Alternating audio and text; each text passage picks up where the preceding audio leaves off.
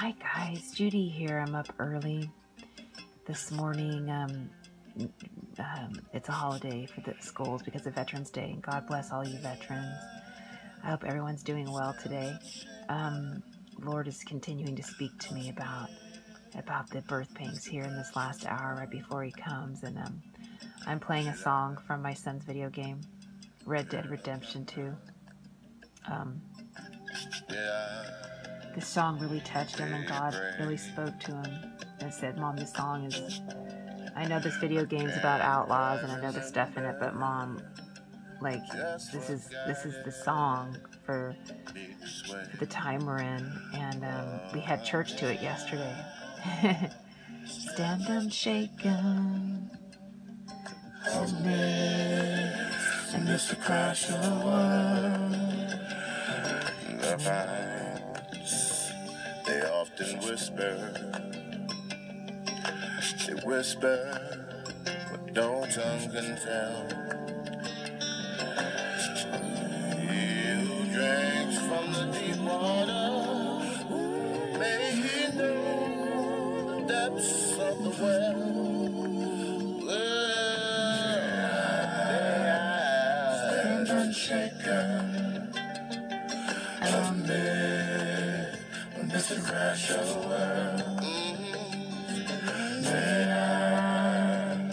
stand unshaken.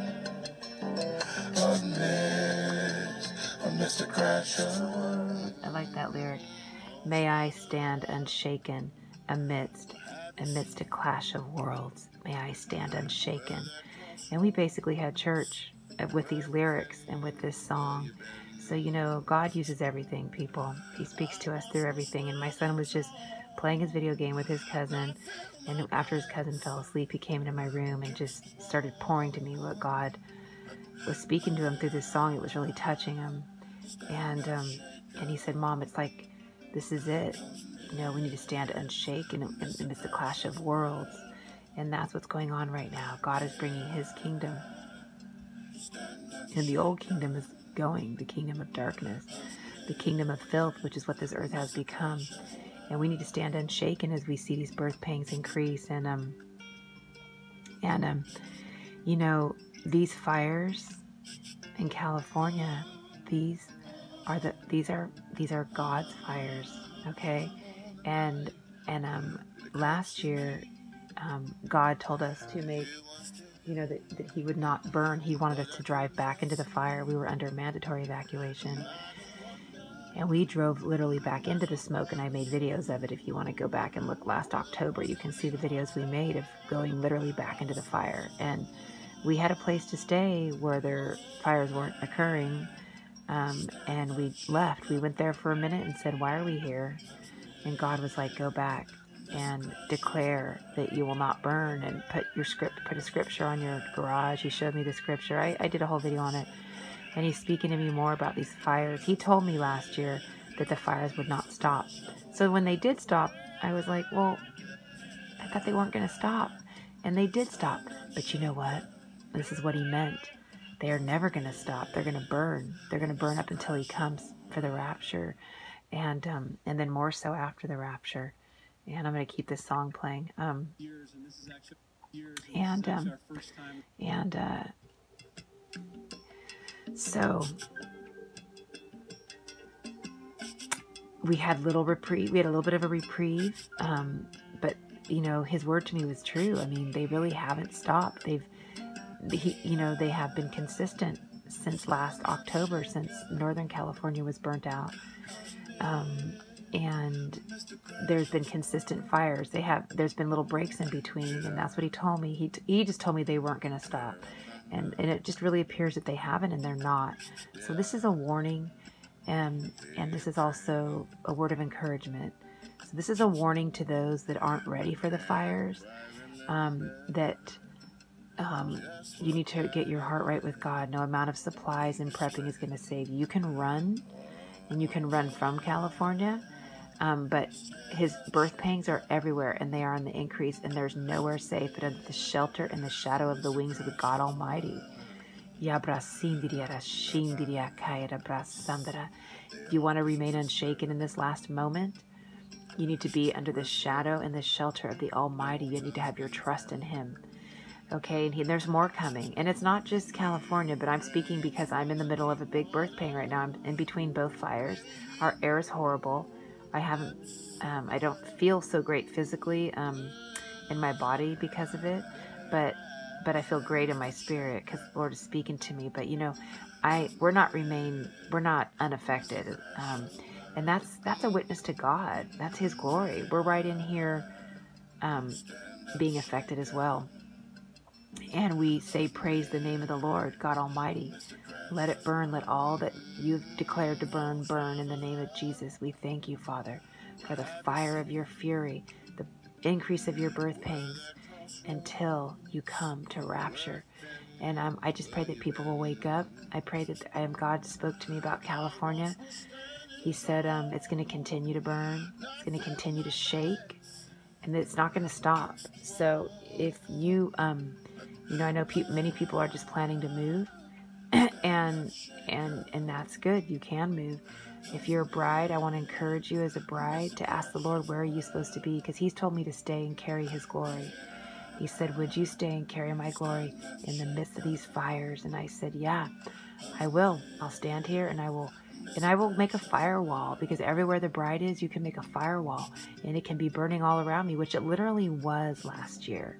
I was very afraid, but I also got strengthened by the Lord. But it was, He strengthened me, but it was a little bit scary. I had different um, people praying as the fires were encroaching upon us, and God said, Stay. And I had a little bit of pressure from my sister to take my son and the animals and go and and, and all that because she's like, This isn't cool. You need to not do this. And so, um, but I just stayed in faith. I said, This is what God told me to do. I'll just stay and burn with it or I'll be like Shadrach, Meshach, and Abednego. So now I'm seeing why he allowed me to experience this last year. So I have more of a reference this year to know, and I have more faith to believe that the fires burned all around us, and there's no reason why our little enclave here didn't burn because it were headed our way, but the winds turned. And it was but God. It was because God created a firewall because He told us to pray for that. And we cased the neighborhood in the car. We couldn't walk, it was too smoky, and God protected it. Well, believers and bride in California, I want to encourage you to make firewalls with the Word of God, with your faith, with worship. He said to sing in the fires, sing through the fires, God.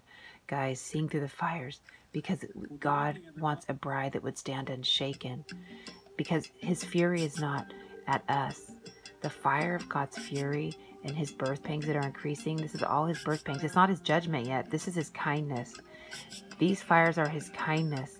You ask me, how is that kindness? Yes, that's a wake up call because what's about to happen is so much worse than this. It's so much worse. It's Babylon will burn in one hour. This nation's going to burn with nuclear war in one hour after the rapture, after the great taking away, after the final worldwide rapture where all the innocents are taken. And when I say innocent, I say innocent because the blood of the Lamb.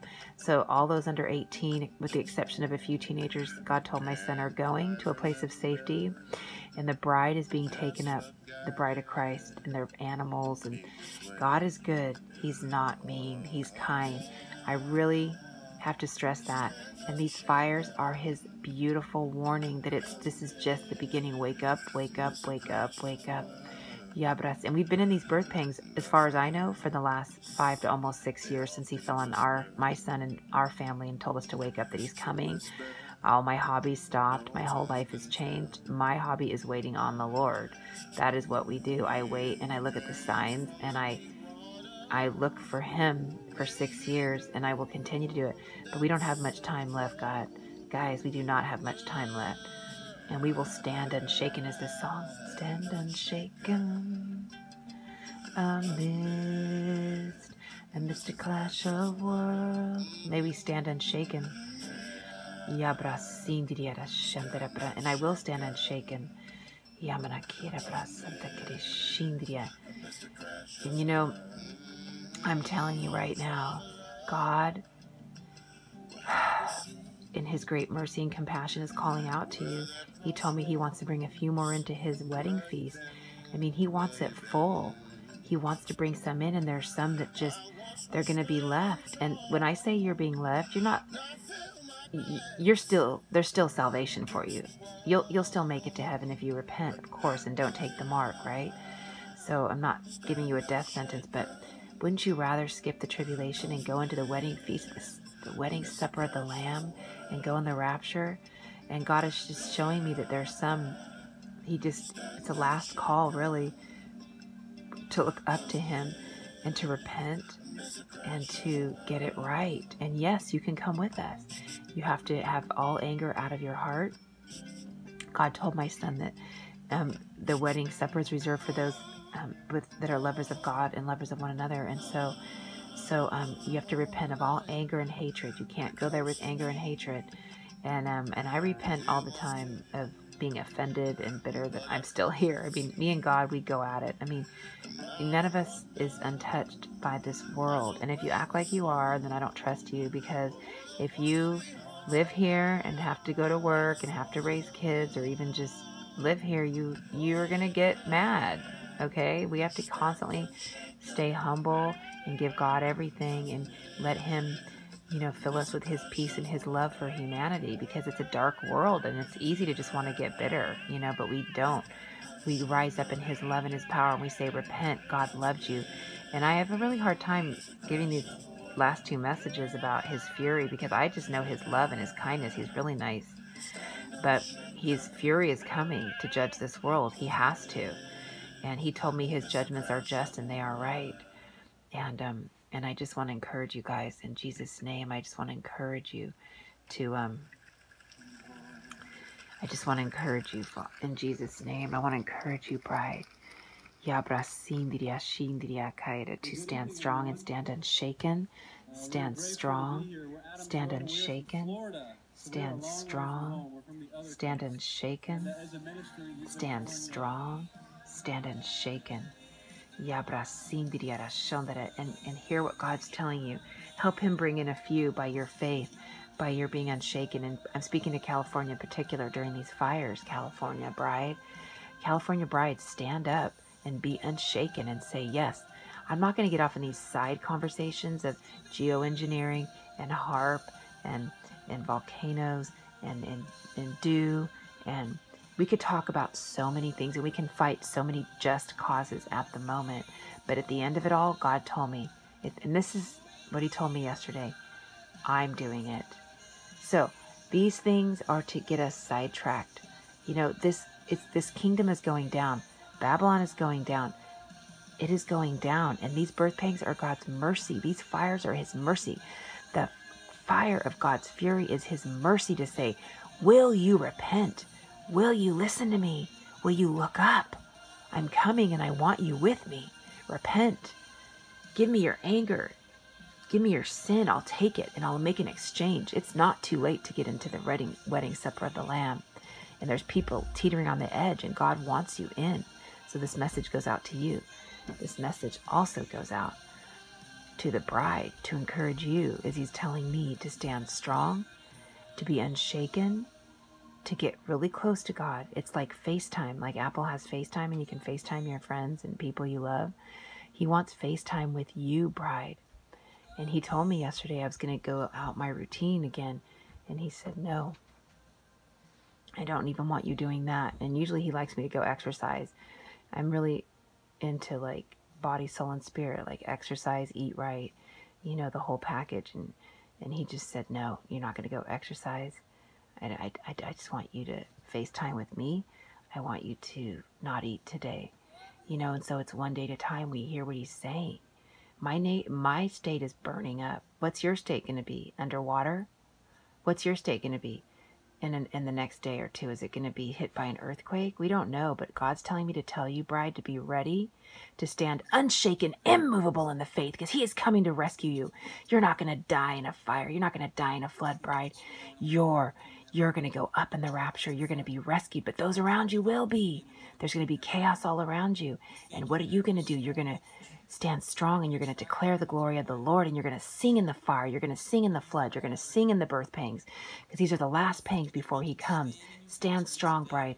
God needs a bride who want who will stand up. And if you stand strong, you can bring a few more in. And that's what God's saying. Can you bring a few more in? Can you bring a few more into my feast by standing strong? Do it. stand strong.